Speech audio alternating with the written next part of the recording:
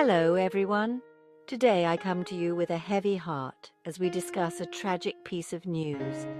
Health guru Dr. Michael Mosley, a familiar face to many for his work on This Morning and BBC Radio 4's Just One Thing, has been found deceased. Dr. Mosley was reported missing on the picturesque island of Symi in Greece, where he was vacationing with his wife. The alarm was raised when he did not return from a solo walk he embarked on last Wednesday afternoon. Local authorities, along with volunteers, searched tirelessly for more than three days.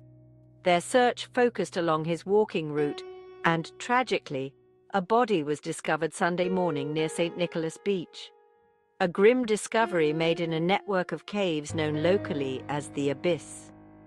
Accompanying the body was a purple umbrella a poignant reminder of the casual start to what ended as a tragic walk.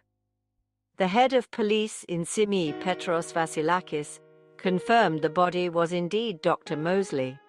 He was identified by his personal effects and clothing, a confirmation that brought an end to the frenetic search but began a period of mourning for many.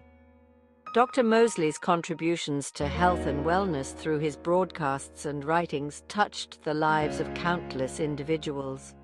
His approachable demeanor and passionate advocacy for health made him a beloved figure, not just in the UK, but globally. As the news of his passing spreads, tributes from fans and colleagues have begun to pour in, each reflecting on how Dr. Mosley influenced their lives. This news is a stark reminder of the unpredictability of life and the importance of cherishing every moment.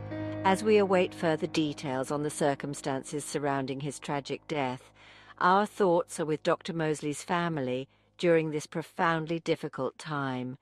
I'll continue to bring you updates as they become available. For now, let us remember Dr. Michael Mosley, not just for his untimely demise, but for the vibrant life he led and the lives he changed. Thank you for joining me today, and please take a moment to reflect on the preciousness of life.